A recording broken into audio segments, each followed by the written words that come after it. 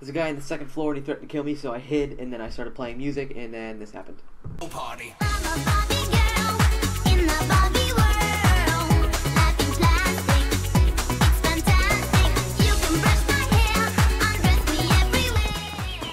Don't even fucking try it, you stupid